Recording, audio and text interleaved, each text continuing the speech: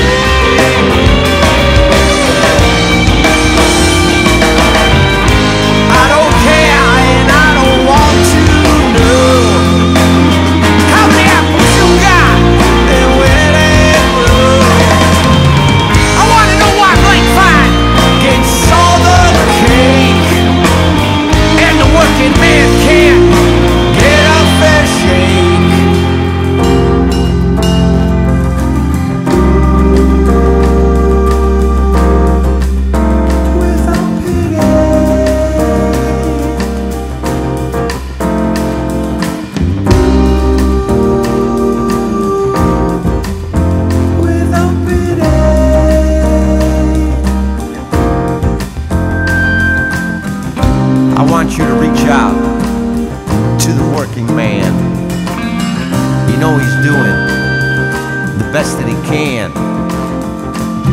And he'll turn around and help another. Never forget that he's your brother.